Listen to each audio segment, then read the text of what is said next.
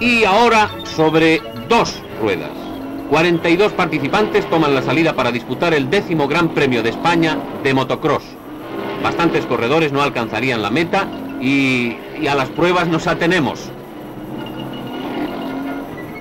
El circuito se disputó sobre dos mangas de 40 minutos cada una. En la primera el belga Joël Robert mantuvo muy reñido codo a codo con su compatriota Gaston Rayet y con el ruso Moseyev, pero al final Robert consiguió imponerse.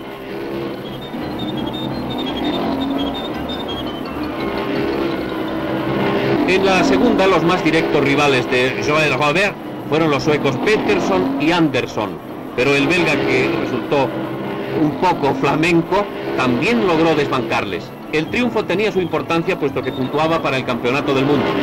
La carrera fue seguida por un público expectante y muy numeroso, más de 25.000 personas distribuidas a todo lo largo del circuito del Vallés en terrenos de la mancomunidad Tarrasa-Sabadell. He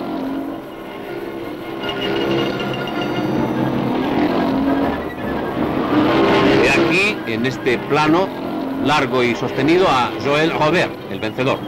En posteriores declaraciones afirmó que su triunfo no había sido sencillo.